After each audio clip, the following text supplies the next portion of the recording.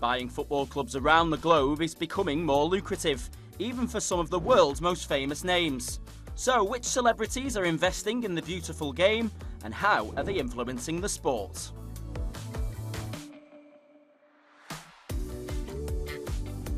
Hello there, and welcome to Football Now from Doha.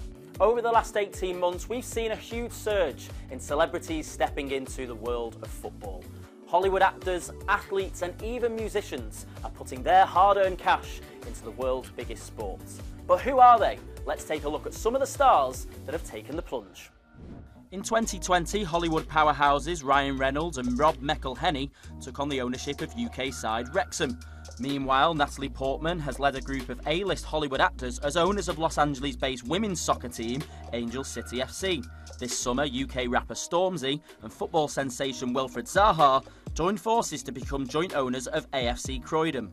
All of these celebrities have money in the game, but how much are they actively involved? Some may be passive investors, while others take a stronger role in the day to day operations. Many have even expanded their influence by venturing into multiple clubs, creating a diverse football portfolio? Well, there are several really. I mean, if you look at uh, you look at Robin and Ryan at, uh, at Wrexham, for example. I mean, they they fell in love with the idea of owning a club. That's an all-encompassing project. I, you know, I'm not saying they're there every day, but they are committed to the area. They're spending a lot of time there. They are fully engaged with the project.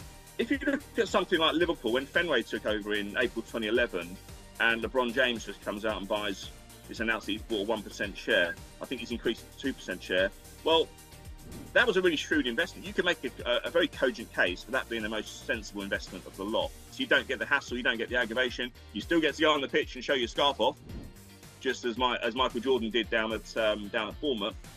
But you don't get the week to week run the week the week to week headache and aggravation. You also have to consider as well what, what's going on in these guys' lives. They might just want another challenge. They might just want to do something different. They might like the idea of going to putting a pin on the map, finding the nearest football club, and going improving the lives of people. If you're looking at improved facilities, improving grounds, making people happy, improving training grounds, providing support to people in historically deprived areas, I can't really see anything anything bad, anything negative as of now. Now, it may be a case of just making lucrative business deals for the celebs, but the clubs themselves have also reaped the benefits. Star investments have contributed to the globalisation of the sport by raising the brand awareness of the so-called smaller clubs. This was the case at Birmingham City and Burnley when former NFL stars Tom Brady and JJ Watt got involved. I think JJ Watt, I know he was approached by an intermediary saying, if you're interested in getting into the sport, this is a really good way for you to get in. And he held meetings and liked what he saw. It fitted with his brand because, you know, he's very much a sort of, you know, working class hero type guy, and I think a working class town like Burnley sort of fit with his image quite well. And he has actually, to be fair, you know, people are a little bit uh, cynical and skeptical about those kind of things. I've seen him on tons of shows in America, like and some very, very uh, highly watched talk shows and so on, where he comes on in a Burnley t-shirt or a Burnley baseball cap. It immediately becomes a talking point, and he's talking about Burnley on, you know, the Jimmy Fallon show or whatever you know, he's making the case for Burnley and uh, and promoting the brand. He is doing that, so you can see the benefit of doing that. Let's talk about a rising force: female celebrity investors and their impact on women in football. In a traditionally male-dominated field, these women are reshaping the landscape, bringing fresh perspectives and contributing to the sport's growth. For example, the ownership structure of Angel City FC is reshaping the trajectory of women's sports with a distinctive approach.